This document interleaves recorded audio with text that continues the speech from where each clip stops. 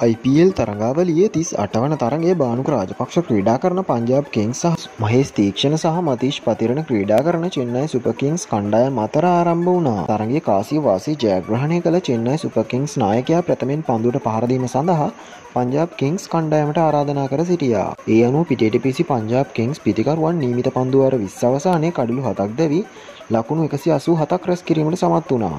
එහිදී විශිෂ්ටීනිමක් දියත් කර ශිකත් දවාන් පන්දු පනස් නමයකින් උන්න දෙවී ලකුණු අසූ අටක් රැස් කිරීමට සමත් වුණා. තරඟ හතරක්ම අවස්ථාව නොලැබී අද තරගය සඳහා අවස්ථාව ලැබුණු බානුක රාජපක්ෂ ඊට නොදවෙන ඉනිමක් දියත් කළ අතර ඔහු පන්දු තිස් දෙකක් තුළ ලකුණු හතලිස් දෙකක් රැස් කිරීමට සමත් වනේ දැවන්ත හය පහර දෙකක් සහ අතරේ පහර දෙකක් එල්ල කරමින්.